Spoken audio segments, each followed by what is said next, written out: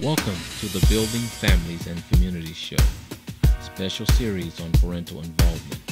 Part 2 Parental Involvement as a National Issue. Approximately 213 years after the convening of the First United States Continental Congress, Public Law 107 110 commonly known as the No Child Left Behind Act, was enacted January 8, 2002 by the 107th Congress of the United States of America. This act was intended to close the achievement gap in America's public schools by requiring more accountability from public education officials, granting flexibility in the use of public funding for education, and providing better choice options for parents and where their children learn. Congress sought to address the needs of the lowest performing groups of students in America's public schools. In 2010, Building Families and Communities Institute developed and published a curriculum model for focused parental involvement, training, and support realizing the fact that the need for focused parental involvement is not exclusive to Nashville, but rather a national issue. BFC Institute took its model to four cities on a tour. One stop was Pontiac, Michigan. In Pontiac, the author of the curriculum, Reverend Rueben Dockery, presented members of the Parent Advisory Council for Pontiac Public Schools with the curriculum model. He is going to uh, share um, some wonderful news about uh, his business, the BFC Institute. Uh, it was incorporated in 2004, and it is an organization focused on urban community uh, development, and he has come here to assist us with organizing uh, parental involvement, uh, to provide some tools. And tonight, uh, we will have an opportunity to hear about some of the strategies. He's going to also offer an opportunity to ask questions. His background, he's uh, presently working on a PhD uh, in education. Uh, he has a master's in education, a bachelor's in history, also associate in divinity uh, in, from Chicago. He has uh, background in school uh, administration licensure. I think that's you're, you're eligible. Uh, special education endorsement from Tennessee State Department of Education. Uh, he's licensed and an ordained minister, uh, Faith Temple I believe that's Missionary Baptist Church in Chicago, Illinois. Uh, certificates, National Cancer Institute, uh, use of human subjects in research. Uh, he has wealth of experience, and we are very fortunate to have him this evening, and I want to give him a warm welcome. Thank you very much. Thank you, Ms. Um, Rogers, very much for that very warm and kind introduction, and thank you all for having us. Let me first start by thanking Pastor Jackson uh, for opening the doors here uh, to the church, uh, Greater Mount Calvary Missionary Baptist Church and his family. Let me thank uh, Mr. Deacon um, Coleman, who's the deacon here at the church, as well as a member of the, uh, the team, the parent team at, his, at the high school. Is it Pontiac High? Yes. Okay. Thank you for um, uh, inviting us, Ms. Rogers, for putting this together. And what I, like want to do for the first about 10 minutes or so is to offer you some information. Okay? And then I want you to talk to me about how we, this information can be useful to you here in Pontiac based on the set of circumstances and the situation we have.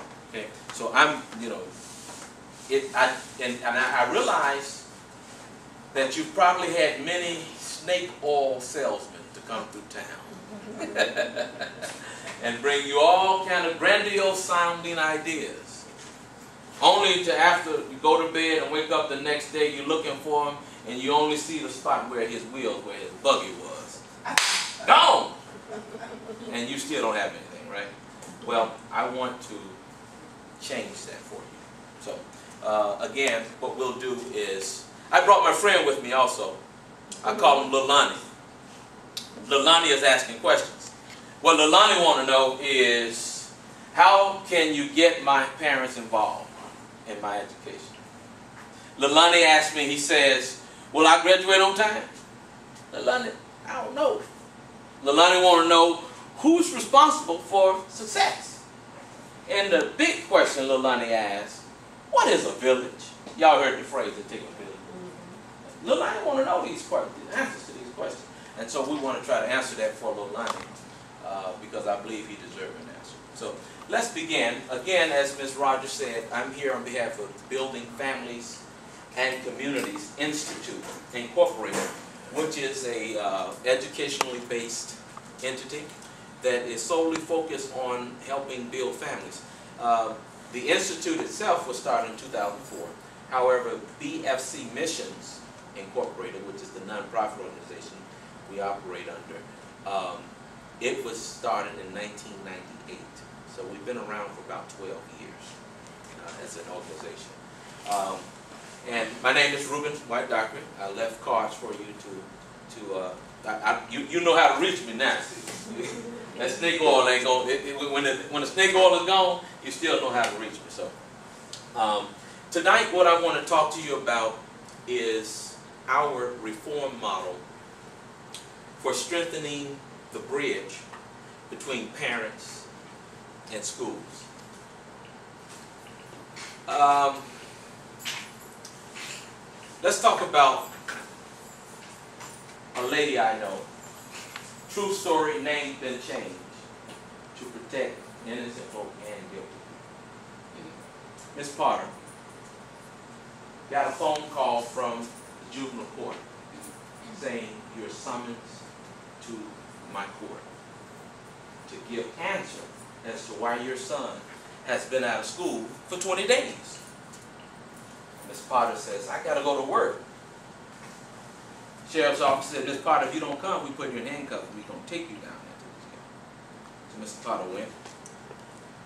Come to find out, Miss Potter's son has been out of school for 20 days because he's been suspended twice. And state compulsory attendance law says after five days, you're supposed to get a notice. After 10 days, somebody got to give answer, right? He's out 20 days. Well, Miss Potter has three phones that she can be reached by. She got a work phone, she got a home phone, and she got a cell phone. Neither of those phones rang to tell Miss Potter that her son was suspended. So the principal said, well, we, we, we, we sent the boy home with the paperwork, and he was supposed to tell his mama that he was suspended. Miss Potter's like, you got to be kidding me. So where was the boy going?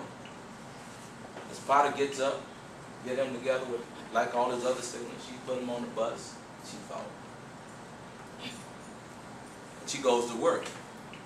Well, when the siblings get on the bus and go to school, he cuts the corner and he's with his partners having a good time. For 20 days. So finally, the system caught up with itself and realized the boy wasn't in class and that he had 20 days out. First of all, how do you get past five days without some communication, right?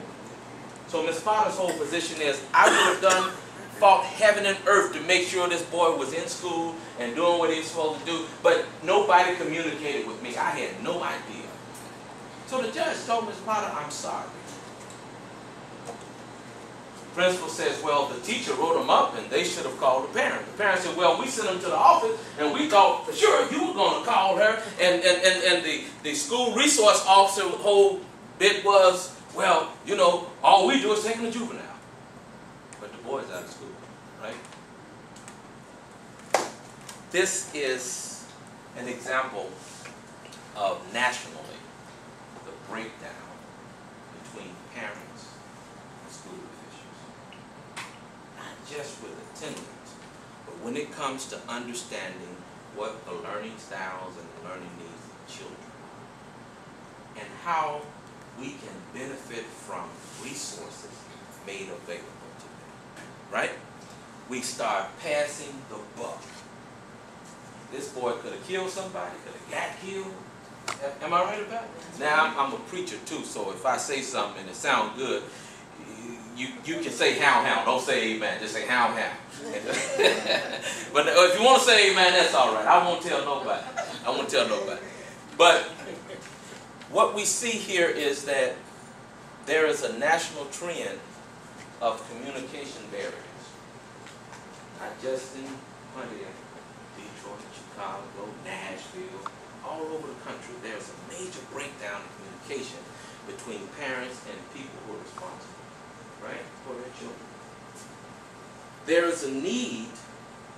Everybody is saying parent, social workers, juvenile court judges, uh, uh, school superintendents, police departments, everybody is saying parent, it's the parent. It starts at home. The parent needs to be involved and they need to help us because, you know, we only have their children for a certain amount of hours. Is that true? Of course it is. So what does parent involvement mean?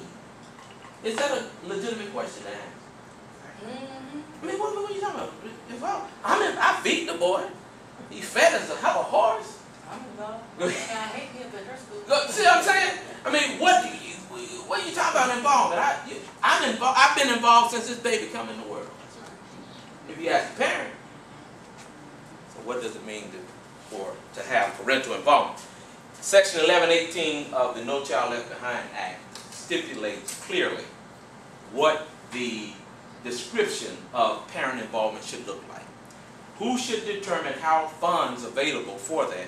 Right now it's currently 1%, but there's some a push for legislation to be changed such that I think they're trying to go to 2% of the total allotment of Title I dollars to be reserved for nothing but parent involvement activities.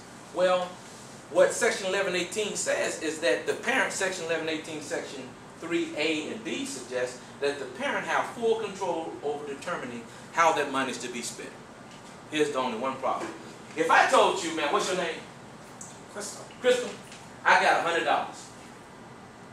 You want to spend some of it? You got to tell me what you want and I'll go buy it for you. That a good deal? I like to be involved.